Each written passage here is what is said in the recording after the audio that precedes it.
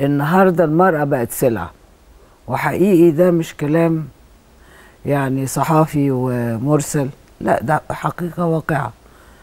عندك في الحوامدية هنا بيجوزوا البنت بوصل أمانة. زواج سلع. الصالونات وصل أمانة واللي بيعمله محامي. مم. طب ما نعمل قانون للمحامي ده اللي يعمل مثل هذا. يعني المأذون ما هوش أحسن حالا يعني. برضه بيجوز القاصرات. في منهم بيخاف فابتدعوا حاجة اسمها وصل أمانة دولة فين؟ يعني إيه وصل امانه جوازها بوصل امانه ده كان ورقة. بدل, المهر يعني لا ورقة عشان يقولوا إنه ده دي متجوزة يعني ده زواج بدون عقد آه وصل مم. يعني بقت سلعة الدولة فين؟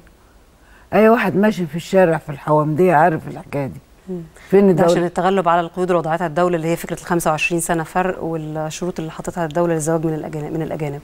من الأجانب ومن فيعني الجوانب الاجتماعية مهملة إهمال كامل. هل المسألة و- محتاجة لفكرة يعني المسألة هل هنا هي ثقافة ولا احتياج؟ يعني أو- هل يمكن الحديث عن تنمية للمرأة أو تمكين ليها من غير ما نتكلم عن تمكين للمجتمع بشكل كامل؟ يا ستي انسي المرأة خالص.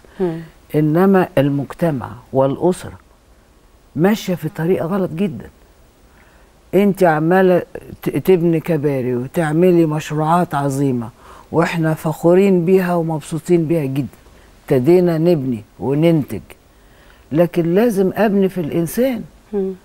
أيضا واهتم بيه وخصوصا اللي بيعاني من ده البسطاء من الناس والمرأة أفقر الفقراء وأكثر جهلا من الرجل صحيح. لأنها عندها أمية عالية فأصبحت سلعة في إيد أبوها أو أخوها يجوزوها كل أسبوع وياخد عشرين ألف وتلاتين